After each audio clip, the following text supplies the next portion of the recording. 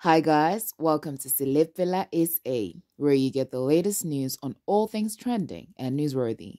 Now don't forget to like, share, and subscribe to my channel. Also don't forget to hit that bell so you never miss any of my uploads.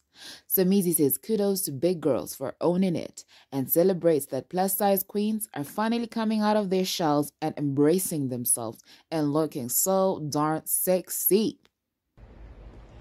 Good morning. Good morning. Two things I want to share with you quickly. First, let me start with this one. So, I'm on day nine of October. I decided to go sober for the month of October. Wish me luck. It is hard. Yesterday, I went out to the views. I, it's hard. I had Red Bull one, I had Coke, I had passion fruit. Yo, the sugar. Ah, guys, you are capable of and So, anyway, wish me luck quickly. Then yesterday at the at the views i saw a lot of beautiful women dressed comfortably in all shapes and sizes. But what took my eye and my attention were big women voluptuous women owning it looking so sexy. And i see it now becoming a trend. Ladies don't stop. Don't stop. Own it. The body happens once forget about everything else Woo! I I can't cut it naked. I have to talk about these women. They are owning it. I see them on TikTok with all the criticism and everything. They are owning it. Please. You might not even do it for yourselves, but you're doing it for the kids that are bullied at school because of their weight.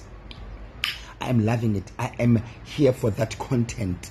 The way they dress. There was a woman dressed in a blue, blue tight dress uh, just above the knees, tight, showing every part, curve, the figure, the boobs, and it had a slit, and then she had a thigh tattoo.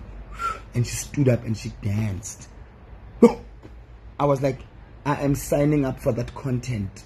Own it. There's people that always say, hey, hey, ha, ha, the health, the ing ing, the on on, the on on. Walk in their shoes, Kala.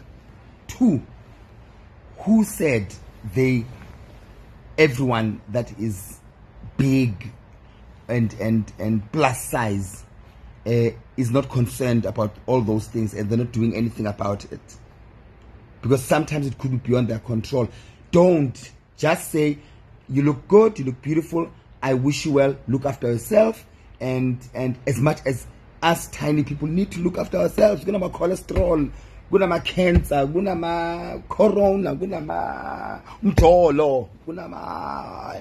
Hey. But let me not digress. Let me celebrate you. Women, zababona later abobhuti. Women. Yo.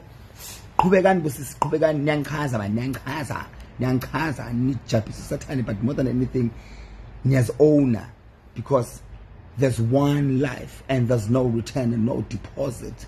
One life so it's time to open up the closet. I am what I am and what I am. Needs no excuses